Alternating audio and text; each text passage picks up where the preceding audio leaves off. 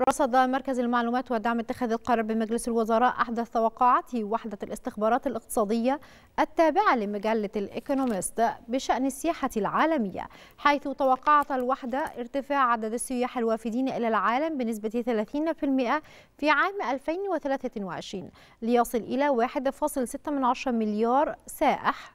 كما أضاف التقرير أن تعافي أعداد السياح الوافدين سيختلف من منطقة لأخرى. ففي حين شهد جزء كبير من الشرق الأوسط انتعاشا كاملا بالفعل. فإن التعافي في أوروبا الشرقية لن يتحقق قبل عام 2025 بسبب تأثير الحرب الروسية الأوكرانية. في حين ستصل معظم المناطق الأخرى إلى التعافي الكامل في عام 2024